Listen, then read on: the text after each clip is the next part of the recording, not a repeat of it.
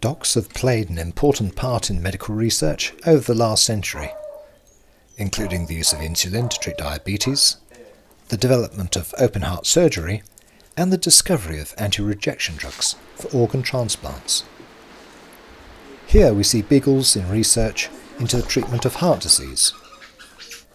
The dogs are exercised daily and given a rich environment with plenty of toys to chew and people to play with.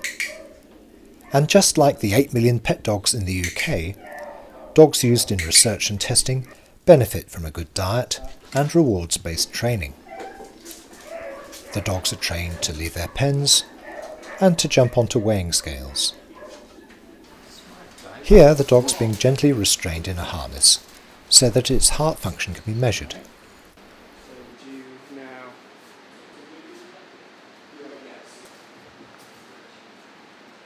The scientist is using an ultrasound scanner, very much like that used to scan the developing fetus in a pregnant woman.